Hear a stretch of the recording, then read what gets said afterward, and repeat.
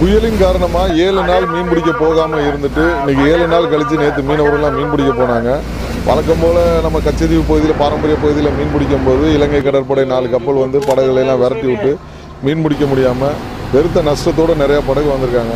இது தொடர்ந்து வாடிக்கை காலமாக வந்து ரொம்ப காலமாக வந்து இந்த மாதிரி ஒரு சூழ்நிலை நிலவிக்கிட்டே வர்றதுனால ராமேஸ்வரம் புதுக்கோட்டை போன்ற பகுதிகளில் மீனவருடைய வாழ்வாதாரமே கேள்விக்குறியாக இருக்குது மத்திய அரசாங்கம் இலங்கை அரசோட பேசி இப்போ அவர் ரணில் விக்ரமசிங் பிரதமராக இருக்கிறாரு. இலங்கை மத்திய அரசாங்கம் இலங்கை அரசோட பேசி இந்த மீனவர் பிரச்சனைக்கு ஒரு முற்றுப்புள்ளி வைக்கும் இரு நாட்டு மீனவர்களும் பிரச்சனை இல்லாமல் மீன் பிடிக்கிறதுக்கு வழிவகை செஞ்சால் நல்லா இருக்கும். ஏன்னா பல லட்சம் கோடி அந்நிய செலவாணி ஈடு கொடுக்குற இந்த மீனவருடைய தொழில் ரொம்ப நலிவடைஞ்சு கேள்விக்குறியாக போயிட்டு இருக்கு. துரித நடவடிக்கை எடுத்து பிரச்சனை இல்லாமல் மீன் பிடிக்கிறதுக்கு வழிவகை செய்யணும்.